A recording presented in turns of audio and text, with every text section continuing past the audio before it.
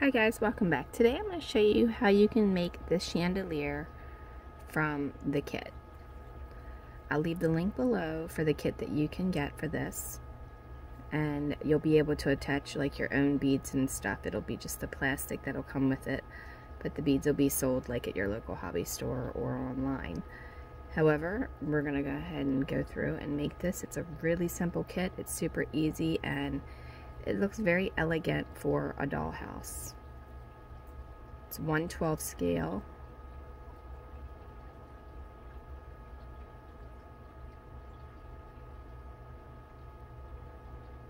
And it'll hang. Now this is a non-lighted kit, but you could always run wire down on it if you wanted to.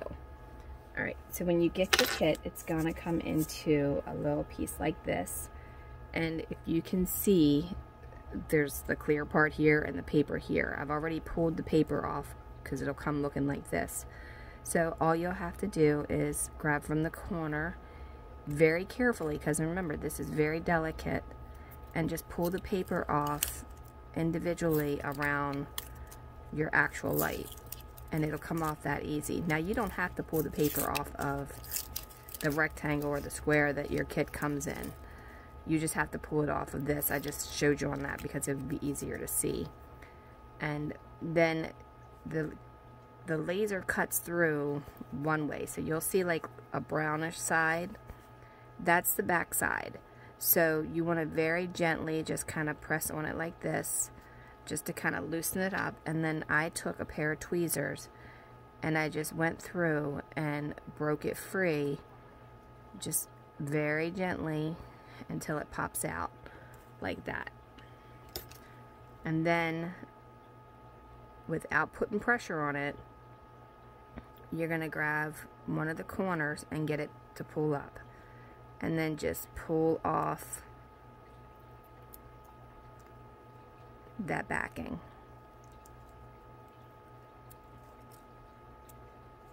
And then once it's off, it should look like this. You should have two types. There's that one and then there's the other part where this has two and this only has one.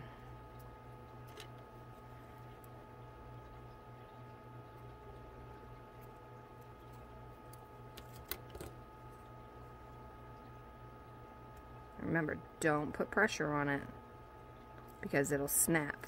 It's only one eighth inch thick, so it's not like you're working with, you know, a quarter inch plywood or anything.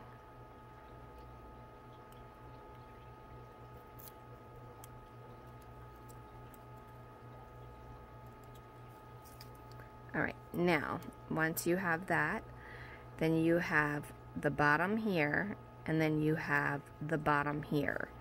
So the part that looks like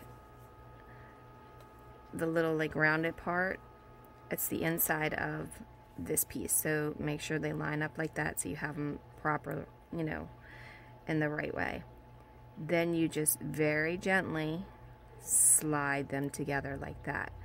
Now, once you see that everything works out very well and you get an idea and you know that you've put it on properly, then you want to pull it back off very gently and you want to take some super glue that dries clear and you want to put just a dab, I mean just a tiny little dab on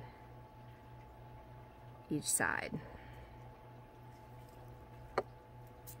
Then you want to take that piece that you just did and you want to slide it back on there again. Just like that. And make sure you have it completely down. And then what I do is I turn it upside down and I let it sit there. Now if you don't have a way of getting it to sit even you can just kind of prop it back up in the thing that you had the original piece in but that is it. That's as easy as it is to put that kit together. It's super simple. Now, there are little holes that are pre-drilled, and I'll show you on the blue one so you can see it. There's tiny little holes. Now, on the burnt side is the back side, so you want to go from the top side and take something very thin and just pop them through from the opposite side And then that's where you will put your um, string of beads or whatever you decide to use for this kit. And they just fall right out. But you have to do it from the back side. Like they have to come out through the back. Because, you know, the front cut's a little thicker. It's just easier. And then you see how that still has one there. If I push it in that way, it doesn't really want to go. But if I push it out through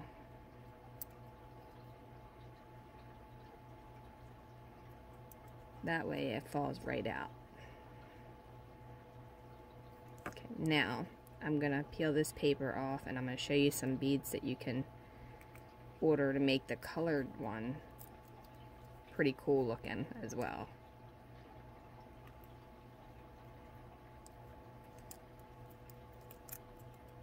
Let me peel this paper off and I will be right back.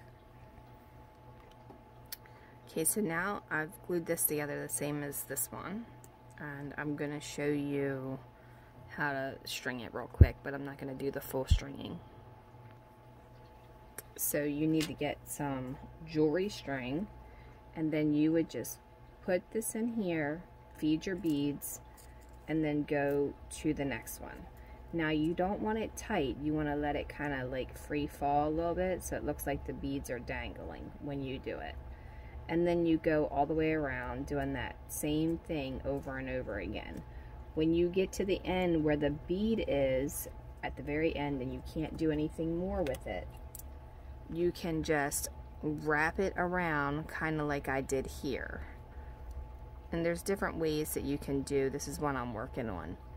Um, you can add a little bit of the teal beads and stuff and then you can do like teal and clear and just kind of give it like that colored effect. And then if you're doing the teal, you can just kind of use those all together with that. Um, here's one that I was playing around with, um, these long silver beads. You could do that as well and then have them hanging off of the edge of it where this would be hanging down below that. There's several ways and if you check your hobby shop, you know, I'm sure they'll have beads. The kit will not come with the beads, but you can purchase the clear or you can purchase the teal and I may add other colors in the future.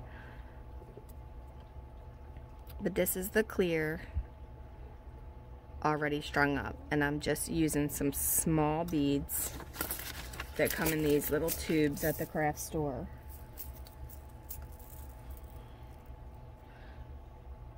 This is a 8 to a 0 it says. This is a 6 to 0 which means it's a little bit bigger. This one doesn't say I don't think. Oh, this one doesn't really say, but these are the long, skinny ones. And then this is an 11 to 0. The higher the number to the 0, the smaller the bead. Or you can look at the millimeter size on some beads. This is an 11 to 0, so those two are exactly the same, and that is what is on here. This is the 11 to 0, and then I had some string beads on here as well. And then here are the long silver ones, and that didn't have it, and the um, size, I don't know what it was because I pulled the label off when I opened it. But you can also get these beads here. Give me one second. These are a little bit more expensive, but they're glass beads. And sometimes you can find them on sale at like Hobby Lobby or Michael's or something. The teardrops is this one and then this is just kind of like a round bead. And Amazon also sells a plastic version of both of these really cheap. So you might want to check there. Um, as far as millimeters and stuff like that go I would say that it's not very big. You know that's probably less than an eighth inch wide for this one. And for this one it's the bottom is about a eighth by about a quarter. So that's about five millimeters. And then the top is about two millimeters by about three millimeters for those. So that gives you an idea of the beads that you'll want to do or you can do for this. And again, there's all different sizes and kinds. Um, you can buy like a bulk of seed beads and get like a mixed thing. I've done that before when I've done other chandeliers, but what I find the prettiest is these little tiny clear seed beads because they look like crystals by the time you add them on there and then just add some accents in between like right here is a bigger one and right there is a bigger one and then the little teardrops at the bottom with the seed bead hanging from it and because it's so small you don't really tell that it's not a crystal hanging and to do that bead coming up through the teardrop I will show you real quick the easiest way to do that to where you can lock it in place. Okay, so you can, here's one that's already done. Um, you can put the bead in there, which here's the crystal. Let me grab one of these seed beads for you. And I'm going to actually use it with the color so you can see it as opposed to using it with the clear on clear.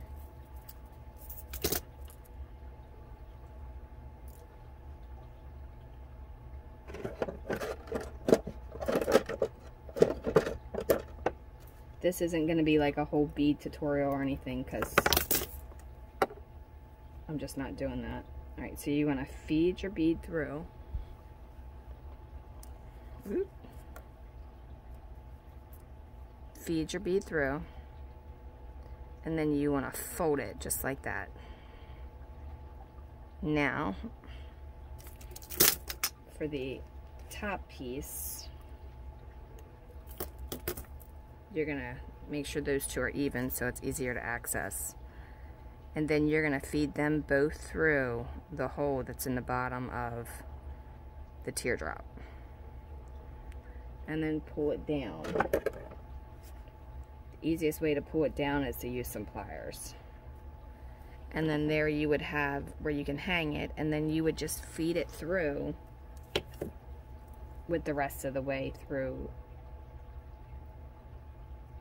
this. I go in one way and I fold it around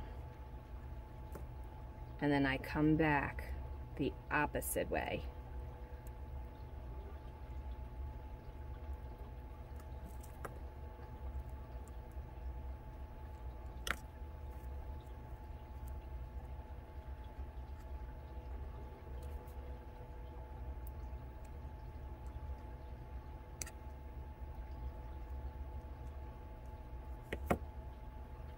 Then once you have it in there, you can just go left and go right and wrap it around one time and then cut it off.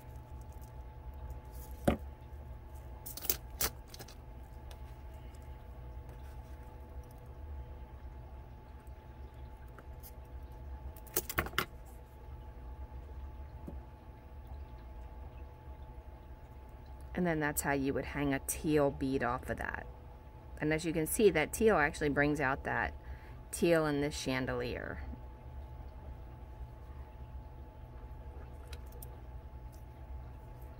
And then you just take this and you can feed the wire in all of these little holes. So you can add as much or as little as you want.